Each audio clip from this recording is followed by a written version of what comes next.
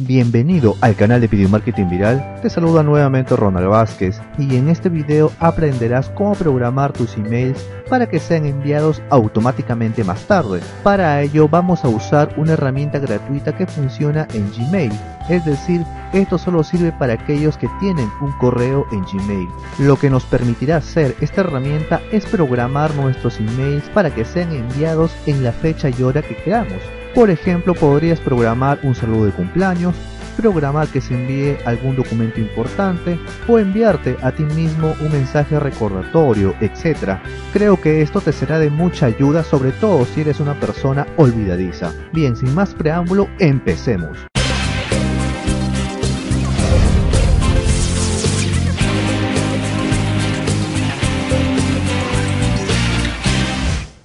Y lo primero que tendrás que hacer es dirigirte a este sitio web, ahí estás viendo el enlace, y esta herramienta se llama Boomerang, tal como lo estás viendo, y para instalarlo presiona este botón rojo. Seguidamente se mostrará esta ventana y presionas el botón añadir extensión. Esperamos unos segundos, ahora te lleva a esta parte y simplemente esperas a que cargue automáticamente tu correo de Gmail y lo que voy a hacer ahora es redactar un correo. Entonces presiono el botón redactar. Aquí pongo el usuario a quien voy a enviarle mi mensaje. Y sobre todo fíjate aquí en la parte inferior se muestra este botón rojo llamado send later. Si lo presionas te permitirá seleccionar cuando deseas que se envíe este email. Por defecto aquí salen algunas opciones como en una hora, dos horas, cuatro horas, mañana, en dos días, pero también puedes colocar aquí la fecha y la hora en que deseas que se envíe este email. Por ejemplo, para este caso voy a colocar que se envíe el 31 de julio a las 8 y 30 de la mañana y presiono el botón azul para confirmar. Espero unos segundos mientras se programa Ahora en esta parte te pide por una única vez que habilites los pop-ups para Gmail. Entonces aquí en la parte superior derecha de tu pantalla, fíjate dónde voy a hacer clic. Y aquí debajo selecciono esta opción que dice permitir siempre pop-ups de parte de mail.google.com. Entonces ahora sí presionas listo. Después de eso refrescamos la página, presionamos la tecla F5 en nuestro teclado y vamos a repetir el mismo procedimiento. No se guardó por lo visto porque debíamos de habilitar los pop-ups.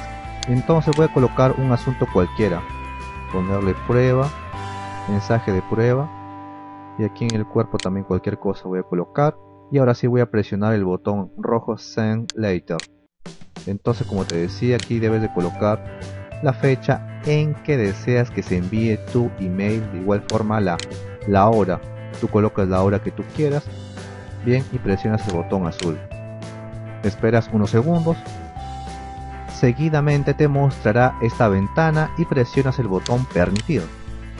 Vale mencionar que ese pop-up, que esa ventana se mostrará por única vez, de aquí en adelante ya no se mostrará. Y ahora sí, fíjate aquí en la parte lateral izquierda y fíjate aquí hay nuevas opciones que dicen boomerang, boomerang o box.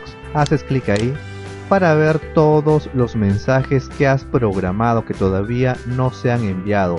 Y en este caso, ahí estás viendo el único mensaje que acabamos de programar.